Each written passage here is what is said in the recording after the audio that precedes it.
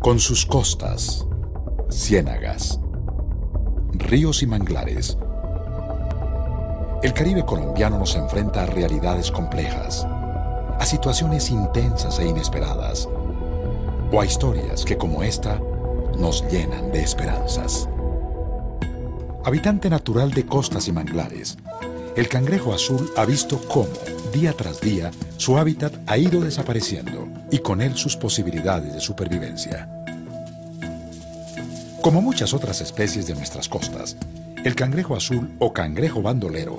ha sido víctima de las acciones humanas que poco a poco lo están llevando al borde de la extinción. Las principales amenazas que enfrenta están asociadas a la disminución y al deterioro de su hábitat, a las construcciones en las zonas costeras, a la contaminación de las aguas y a la constante presión de una caza indiscriminada, generalizada en toda la región caribe. Esto ha llevado al cangrejo azul a la categoría de vulnerable, según el libro rojo de las especies colombianas en peligro de extinción.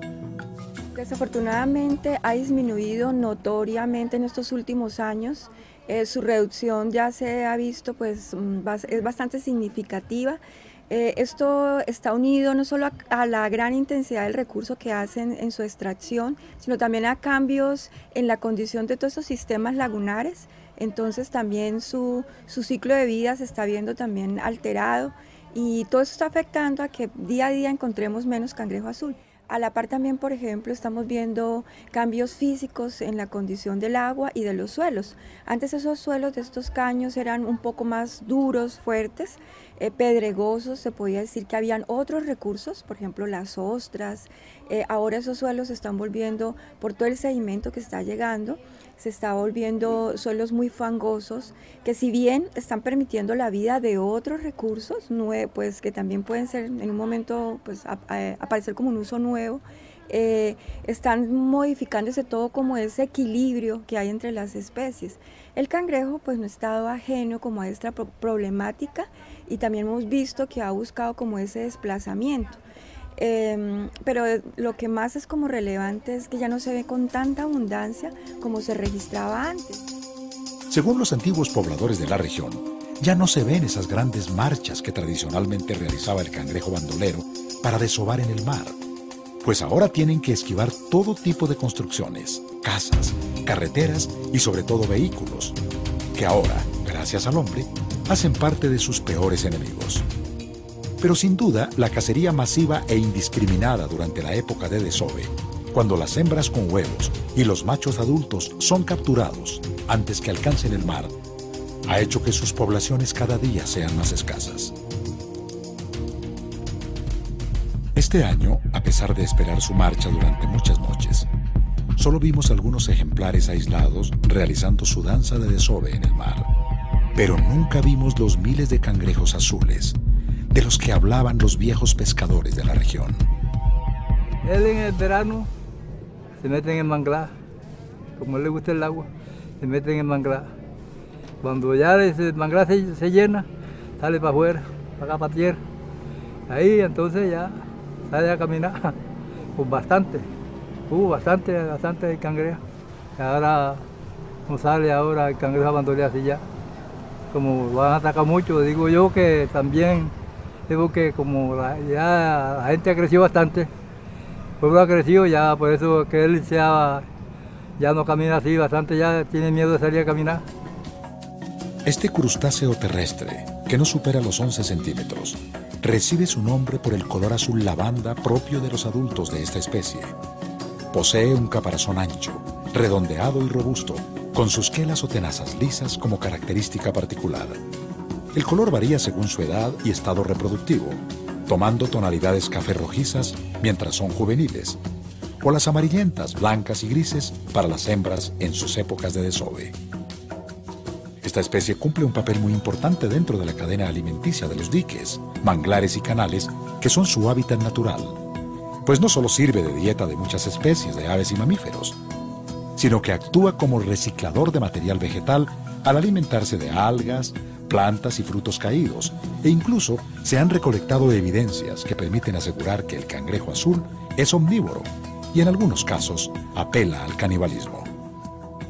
Si bien en toda la costa caribe la práctica de la caza y consumo de esta especie es una actividad generalizada,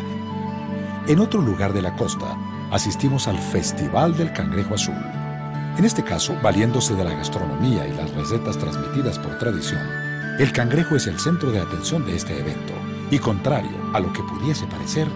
este festín hace parte de una estrategia de educación ambiental que invita a utilizar racionalmente este importante recurso natural.